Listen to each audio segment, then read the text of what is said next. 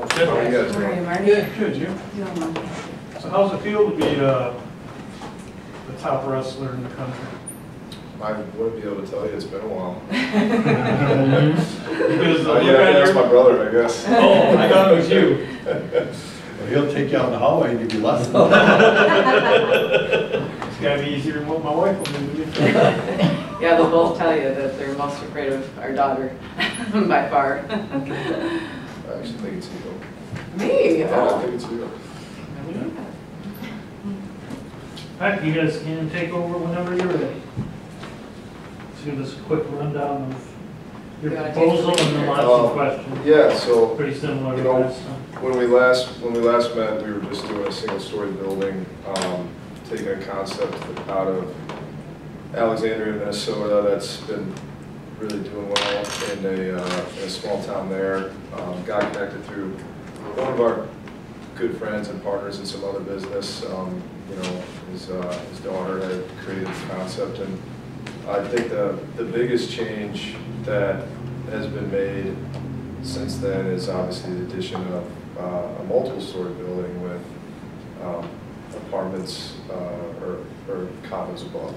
So, um, not sure um, where, what we want to do there yet, if apartment condos are a mix, or if that's even uh, an option, but um, to, to utilize the zoning to go up uh, as many stories as we can to provide additional living spaces, so. And that's unfolding out of the fact that the last time, it seemed like that was more the desire for the town. All of, everyone's input had been that you would like to see more housing in the city of Lowell. And we took that concept back to the table with our partners and felt that that was an idea, a way of combining the needs that everyone's looking for. All right, ready for some questions? There's gonna be 11 questions, so, so, just so you know. Uh, The city's vision for the Lion Shack is reconstruction and will, will be a catalyst project on the west side of the Flat River, and thus uh, revitalizing the area. In essence, the city is looking for a unique and dramatic interest for this Lion Shack. Why do you believe your firm uh, can provide this? And what would your firm do to uh, make this happen? Can you speak to that, or you want to speak to that? I think one of the unique things that I see that our business proposal brings to the table is this gathering place that's both a morning gathering place and an evening gathering place for our town, and the bottom of housing that has been so desired for additional housing need in Lowell. And what I mean by gathering place is this is a town that 17 years ago, my husband brought us to. Um, And I- to be honest with you, I was like, where are you taking me? You know, you pull into town and there's these massive silos out there and I'm like, what are we doing? You know, we're coming from East Lansing, Haslett area that doesn't really have a town. And over the years, this town has become more of a home than I ever could have hoped for for my family. And in 17 years, I feel like I was born and raised here myself. And that says a lot when you're up against people that have been here five, six generations. And it's very unusual almost in this town to only be here for 17 years. But what I've seen over the years is a town that gathers, that likes to gather. You know, everyone has their differences, but then they come back together and when you're in need of a neighbor or friend, I mean, you can go to local places and everyone kind of knows each other, almost like Cheers for those of you old enough to know, you know, where everyone knows your name. And for good or bad or all the drama that that can sometimes bring to the table, especially when related to coaches in the town, um, that's really a good overall thing because we pull each other through a lot. And I see the concept of the edge being that type of place where you can go and have your morning coffee and someone says hello, good morning, and you can air out your problems and we can all go there. It's not just a woman's boutique where you get women's clothing that's only a draw for women. It's also a coffee shop. It's not just a men's boutique, or not that that would even be a draw for the men in my family, but um, a place for all groups of all ages.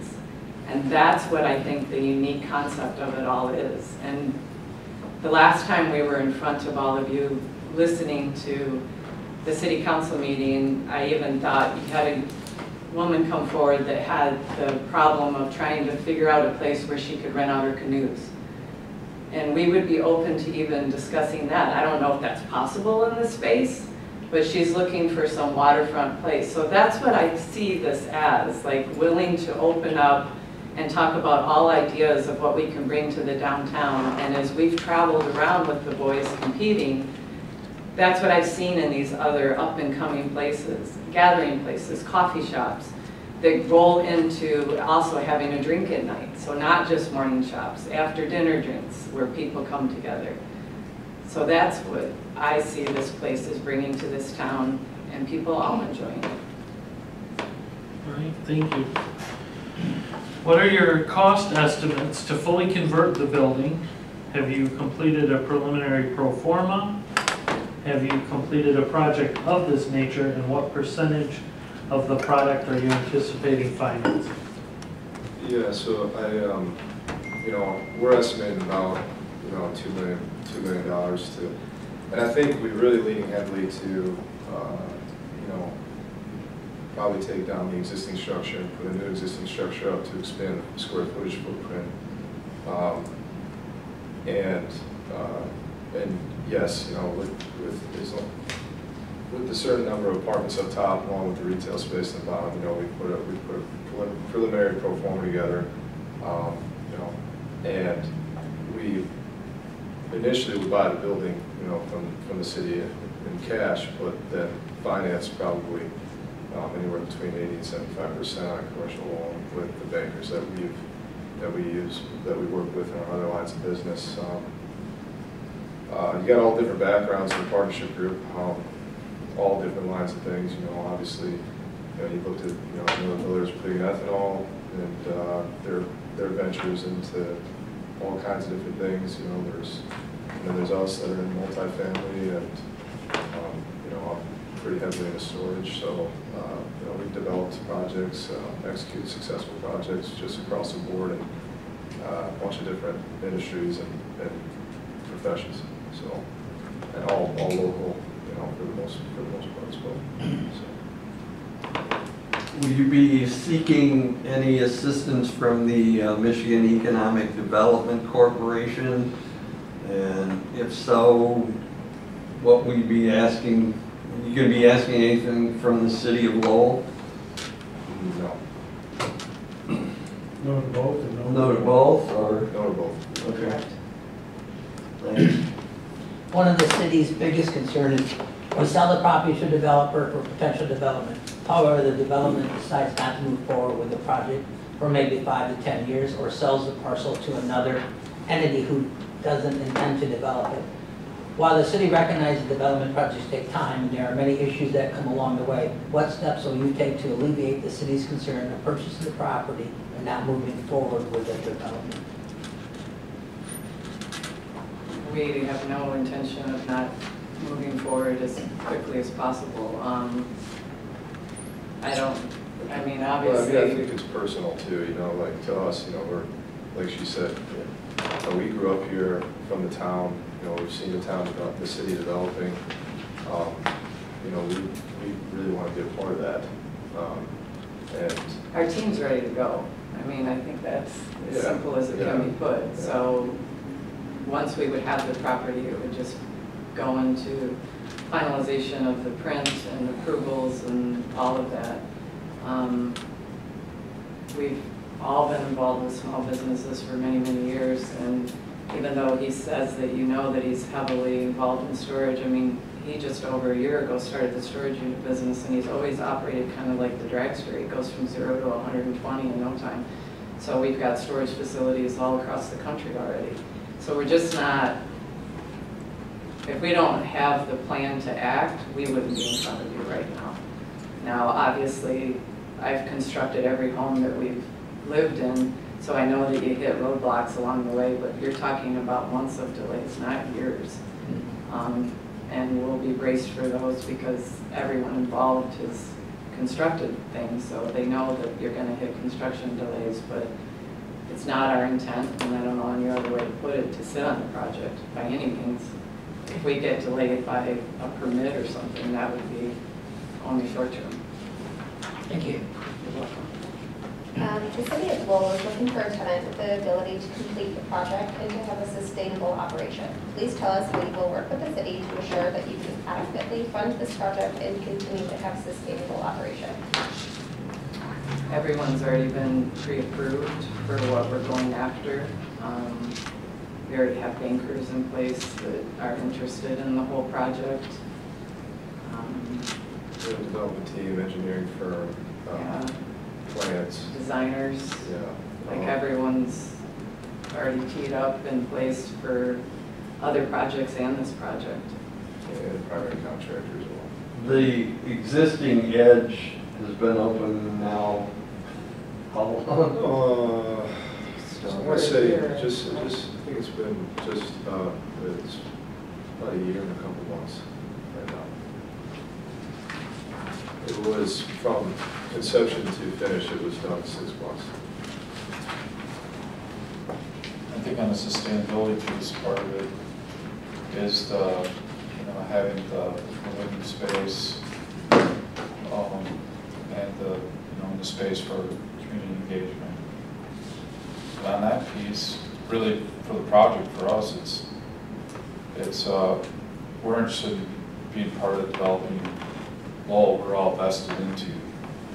I mean, we live here, and even though we're not in the city, the city, the city matters to us. We're here, I mean, we're, this is our town. So, I don't know, that's, we're just interested in working here. And I think the concept of the edge that exists in Minnesota needs some tweaking to really service our community, in my opinion.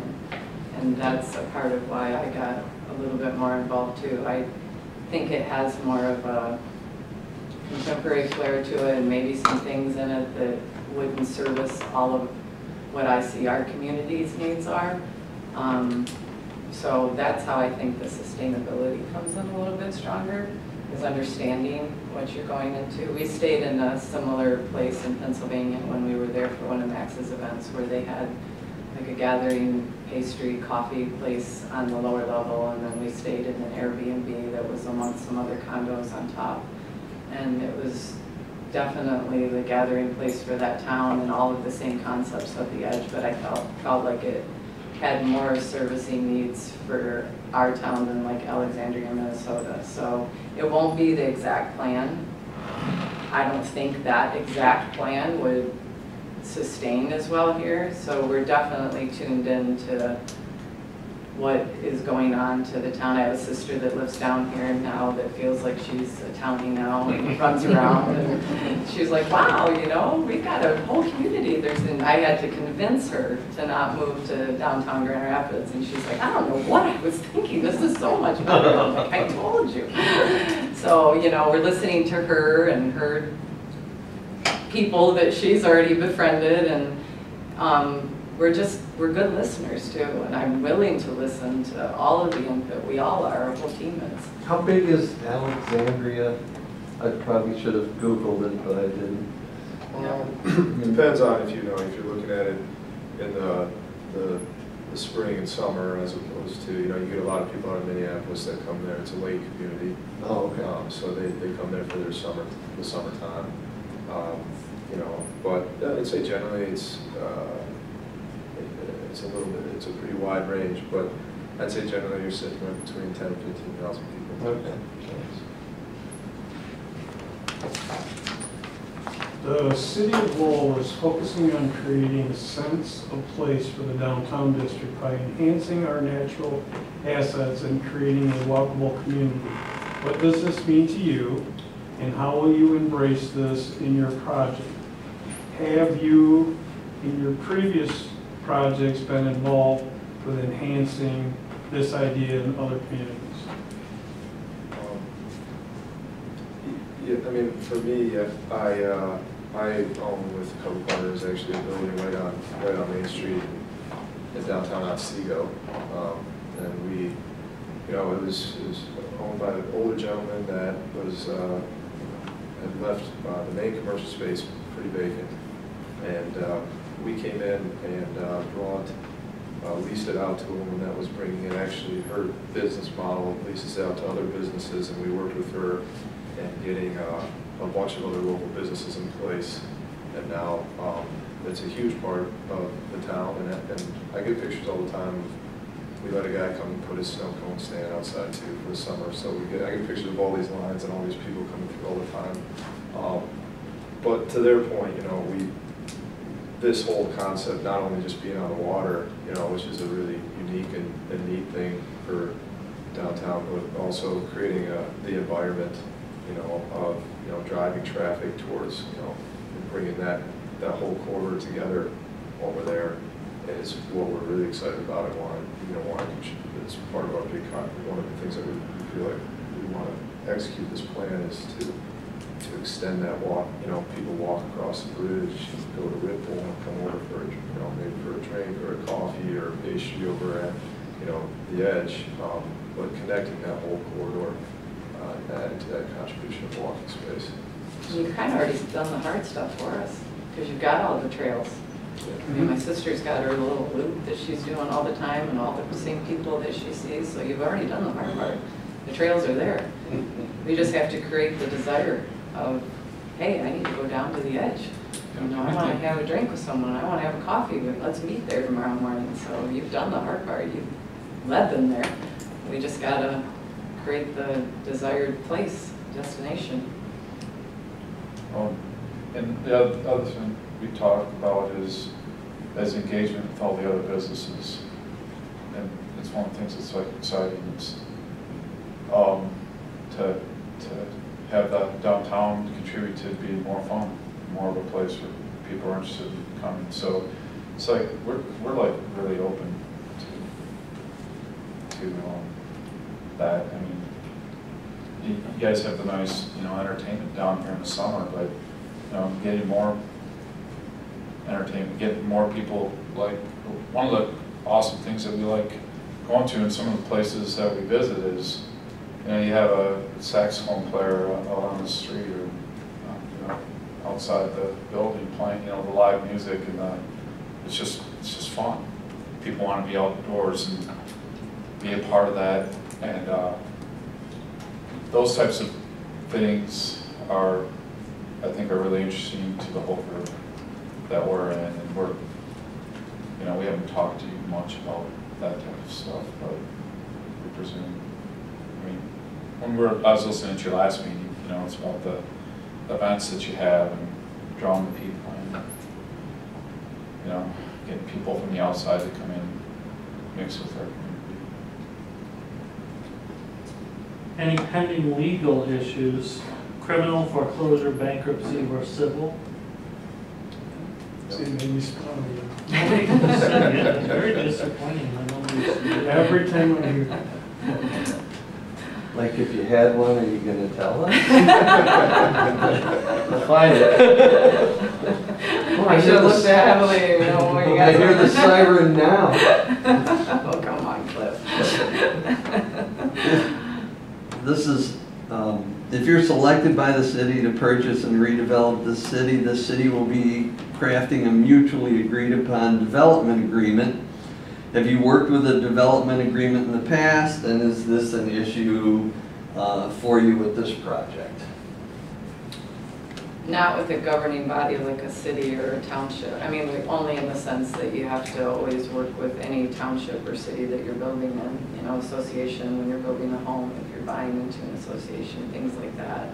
But not like a city of any particular place. Um, I guess you've worked with the city of Otsego. Yeah, we we worked with the city of Otsego on that project. Oh, Well, you know, we've worked with the city of Lowell on the storage County. unit and getting approval It's on that. township. Township. Township, Uh, Lowell, County, yeah. county, county. Ionia County, we worked with them. Um, You know, we, I mean, on my side, side of business, we were in development, so we, we work with city, with cities and townships.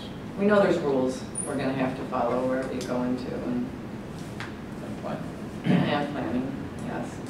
very familiar with the process and, and have done it plenty of times and, um, completely like, you know, open, um, to input and, you know, obviously we want it to be a positive working relationship with the city, you know. And we want you guys to be just, just as proud as we are of the project, so. The city of Lowell is a public body, and in dealing with a public body, transparency is of the mo- utmost concern. There is some strong possibility that the process moving forward will be highly scrutinized by the public. Is this a concern for your firm, and how do you plan to address this as we move forward? We're used to that.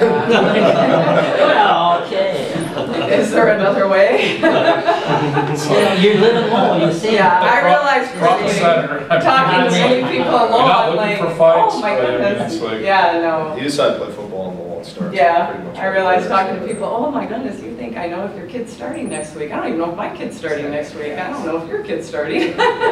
No, but honestly, um, in any business relationship, even in the confidential nature that I operate in, when I'm working with my clients as a CPA, I'm totally transparent with that client. I've obviously got privacy disclosures and things like that intact with my business, but at the same time, if we're working with someone on developing things, the worst thing that you can do is hide something. I mean, that doesn't work out long-term, no matter who you are or what you're building or what you're doing, it's gonna eventually, it's just like a kid being caught in a lie, eventually, it eventually the truth comes out. So why not just let's all put everything out there on the front end? And I would ask for the same in return from any group that I'm working with, and I tell that to all my clients. I'm like, I'm more than happy to be transparent with you, but if you hide something from me, like you've got an impending jail thing or something around the corner. pointed right at it. IRS letter that you tucked away. Yeah, Cliff, what are we talking about there? I'm not trying to buy the other shit. My criminal record has nothing to do with Doesn't this. have to be discussed, does it? Um, so honestly, that's the only thing that we ask in return, is don't hide anything from us either and try and catch each other. Let's all just work together and try and build something special. Thank you. Of course, you're welcome. Um, This uh, question is, do you have any questions for us? One of my main questions is, does the city have an issue with the building being torn down? Or did you foresee the project as something is only being added onto and you feel pretty protective of that? I would personally think that's what any developer chooses to do with the property. Um, Whether you tear it down, uh, go through the process with EGLE, which more than likely you'll have to, leave the structure up and work around the existing.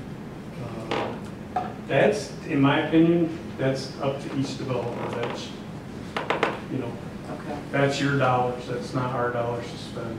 okay, that's good to know. All the way through the first round of this and to now, I've always thought, as long as it's beneficial to the community and it fits in the downtown, I couldn't care less what, how you get there. Okay, It's you know, not my job to tell you how to get there in that respect, I guess. Um, just to make sure that it fits with what we're doing and what we've been trying to do now the better part of a decade. I have no emotional or mental tie to that cinder block building.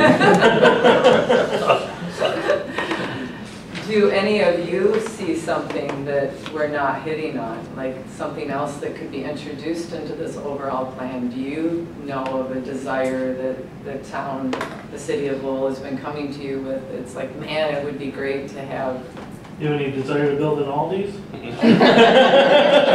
no? I can't, I can't help you.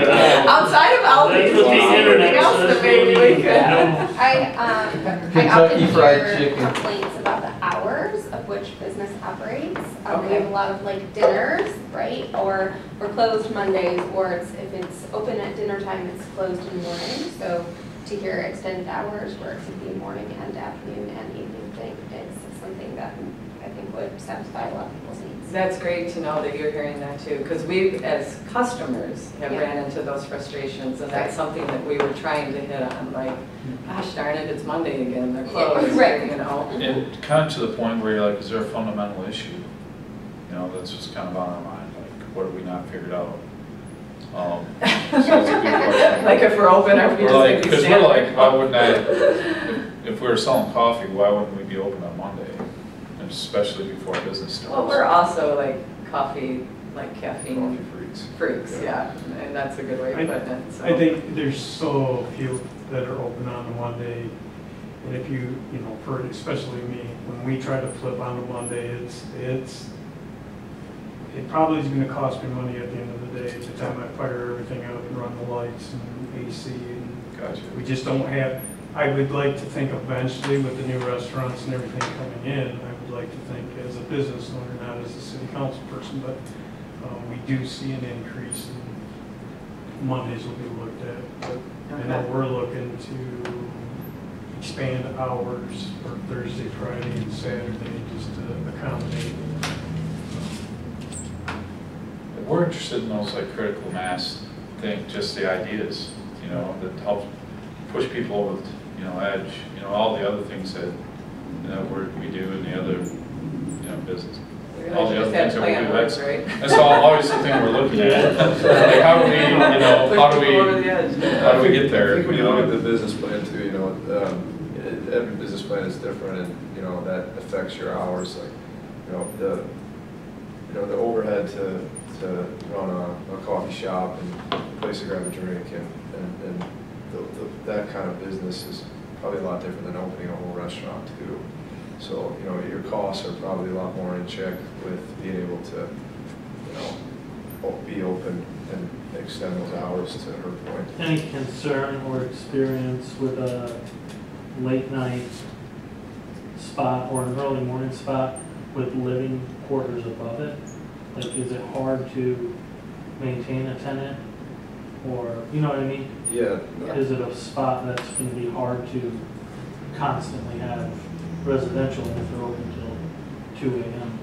But I've talked, looked at like different construction designs, because I wondered the same thing, just from like even, even just hotels having that downtown, downstairs area where people mm-hmm. grab their breakfast and stuff, and people are staying in their hotel rooms, and, um, you know, thankfully, we- you know, the tech, technology just in, just like everything in building has, is uh, advanced, and there's certain things that, you know, the way that we construct the building to make more soundproof barriers, to make sure the tenants upstairs are, are taken care of, um, will definitely be in place, one hundred percent. And, and quite honestly, want to offer the amenities, you know, uh, to the tenants upstairs in a way where, you know, maybe, I, I used to go to this place when I, when I lived in Ithaca, New York, and I was going to Cornell, and, um, you go downstairs, but the tenants upstairs could order, like, coffee to be delivered to their room upstairs. You know, so we, we, those kind of ideas we want to wrap in and make sure, you know, the tenants are happy, you gotta have happy tenants, so.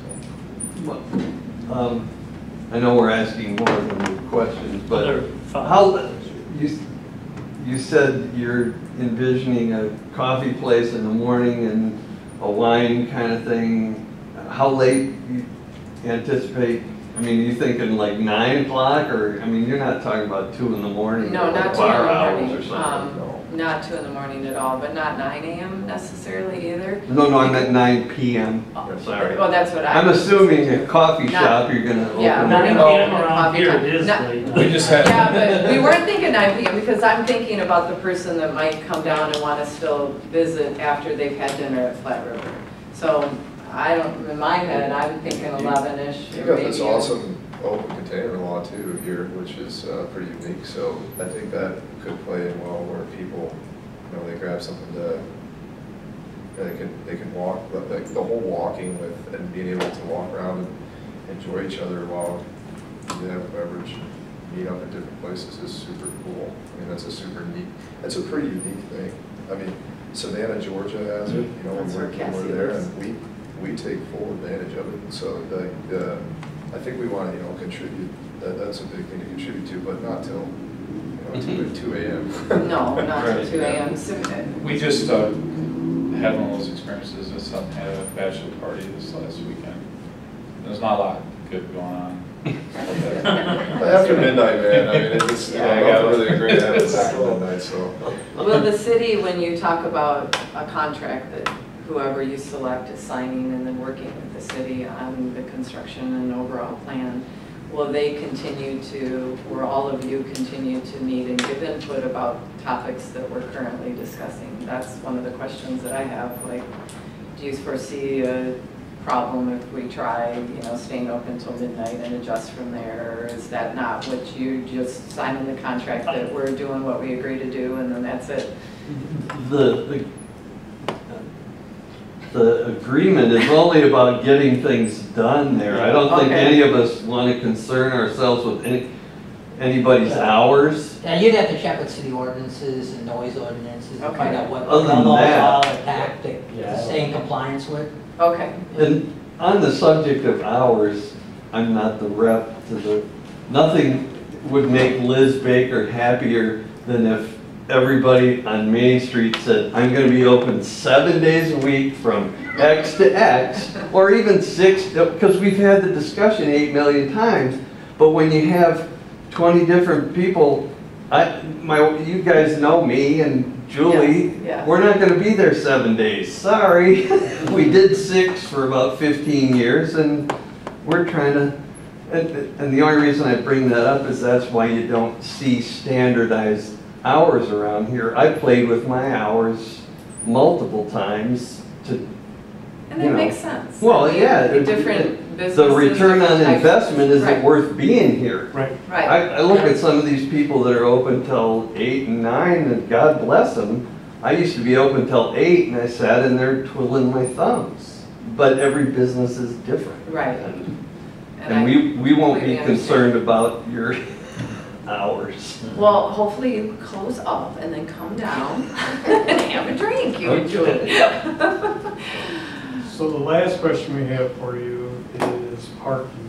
We have 543. and, yes, and, which Mike told us what we had. Uh, But over on that side of the river, we are very limited to what we have. And uh, if you- do you have a plan to try to find accommodating parking or something of that nature over there? I know, but I, I knew, you know, even the first time around, that was gonna be, that, that was obviously a big concern. Um, And, you know, the business model, we kind of try to set up that, uh, people can come and congregate to, you know, a certain level. It's not like the square footage print of that building is, is ten thousand square feet, right? So I think, you know, it has a certain capacity, um, that allows the flow of traffic to work probably pretty well with, with the parking that's provided. Um, But yeah, absolutely, I mean, if we were chosen, um, we definitely want to, you know, dive into working with making sure the traffic flow and everything, um, you know, is sustainable, and work well. Or we're gonna try and put them on the pass, get their feet walking, when weather permits. Where's that? What? The idea behind the zone. All right, That's it? all set? Mm-hmm. All right, well, thank you guys. Thank you for your time, we appreciate time. the opportunity.